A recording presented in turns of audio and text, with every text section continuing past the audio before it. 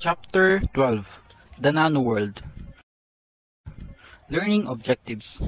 Upon completion of this lesson, students will be able to define nanotechnology, list and describe common applications for nanotechnology, explain how nanotechnology has influenced the field of information technology, distinguish the advantages and disadvantages of nanotechnology. Origin of NanoWorld is the global market leader for tips for scanning probe microscopy or SPM and atomic force microscopy or AFM. Sphere of influence of nanotechnology. Scanning probe microscopy is used to create images of nanoscale surfaces and structures or manipulate atoms to move them in specific patterns. Founded in 1981 with the invention of the scanning tunneling microscope. So on the right side, as you can see, the drawing of SPM. Next is atomic force microscopy. It's a very high resolution type of scanning probe microscopy with demonstrated resolution on the order of fractions of a nanometer more than 1000 times better than the optical diffraction limit. So again, on the right side, as you can see, the drawing of AFM. Nanoscience. The prefix nano is referred to a Greek prefix meaning dwarf or something very small and depicts 1000 million of a meter or 10 to the power of negative 9 meters. Nanoscience is a study of structures and molecules on the scales of nanometers ranging between 1 and 100 nanometers. Nanoscience is a convergence of physics, material science, and biology, which deal with manipulation of materials at atomic and molecular scales. Nanotechnology Nanotechnology is one of the most promising technologies of the 21st century. It is the ability to convert the nanoscience theory to useful applications by observing, measuring, manipulating, assembling, controlling, and manufacturing matter at the nanometer scale. Nanoscience is a convergence of physics, materials, science, and biology, which deal with manipulation of materials at atomic and molecular scales. While nanotechnology is the ability to observe, measure, manipulate, assemble, control, and manufacture matter at the nanometer scale. The imaginative pioneers of nanotechnology. The American physicist and Nobel Prize laureate Richard Feynman introduced the concept of nanotechnology in 1959. Feynman made the hypothesis, why can't we write the entire 24 volumes of the Encyclopedia Britannica on the head of a pin? And describe a vision of using machines to construct smaller machines and down to the molecular level. This new idea demonstrated that Feynman's hypotheses have been proven correct, and for this reason, he is considered the father of modern technology. After 15 years, Norio Taniguchi, a Japanese scientist, was the first to use and define the term nanotechnology in 1974.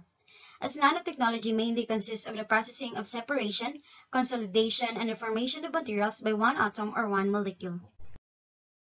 Examples and applications of nanotechnology. Electronics.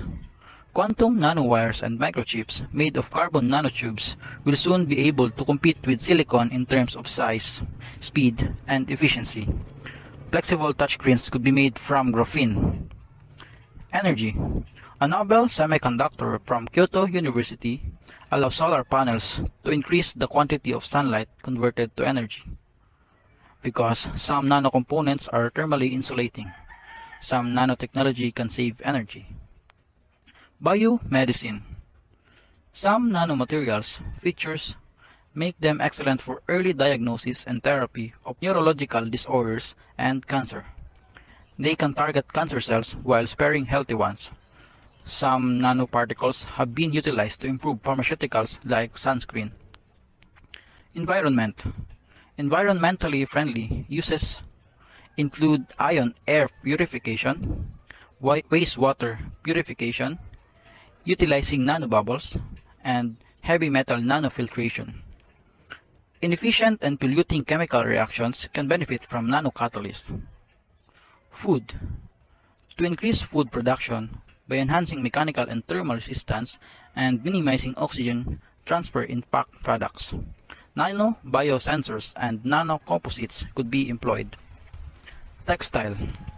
Nanotechnology enables the creation of stain-resistant fabrics as well as stronger, lighter, and more durable materials for motorcycle helmets and sports equipment. These are the examples of nanotechnology products.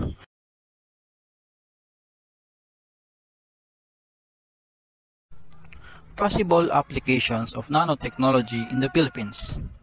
These are the sectors in the Philippines where nanotechnology may be applied, though it may be applied in all aspects generally. Information and communication technologies and semiconductors. It is proven that nanotechnology improves communication and information technology as seen in the present day, where faster microprocessors are powering up our devices, allowing us to communicate easier and faster. Health and medicine. It has been foreseen that in the future, a technology will be created that uses small robots in medical procedures, such as surgery where human skills may not be possible. Energy. Solar and other types of energy may be utilized through the use of nanotechnology. Food and agriculture. Nanotechnology may, of course, improve agriculture and food production as the Philippines is an agricultural country. Environment. Environment-friendly machines and technologies that have the goal of improving the environment may also be created through the nanotechnology. Nanotechnology is also used through the following.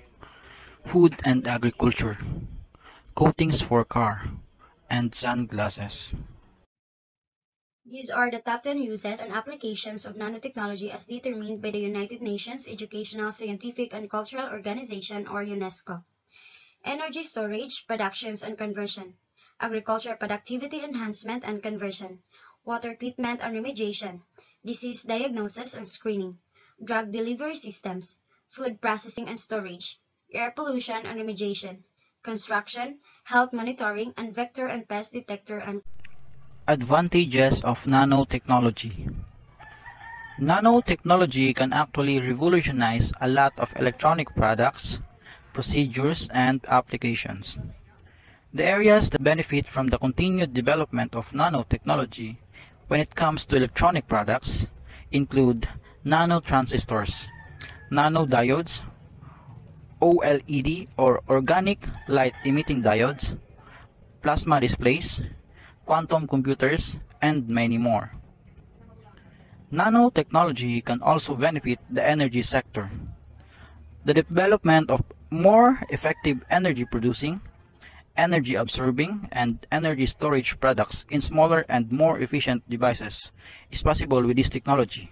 Another industry that can benefit from nanotechnology is the manufacturing sector that will need materials like nanotubes, aerogels, nanoparticles, and other similar items to produce their products with. These materials are often stronger, more durable, and lighter than those that are not produced with the help of nanotechnology. In the medical world, nanotechnology is also seen as a boon since this can help with creating what is called smart drugs. These help cure people faster and without the side effects that other traditional drugs have. These advantages of nanotechnology. Included in the list of disadvantages of this science and its development is a possible loss of jobs in the traditional farming and manufacturing industry. Atomic weapons can now be more accessible and made to be more powerful and more destructive. This can also become more accessible with nanotechnology. Since these particles are very small, problems can actually arise from the inhalation of these minute particles much like the problems a person gets from inhaling minute asbestos particles. Presently, nanotechnology is very expensive and developing. It can cost you a lot of money. It is also pretty difficult to manufacture, which is probably why products made with nanotechnology are more expensive.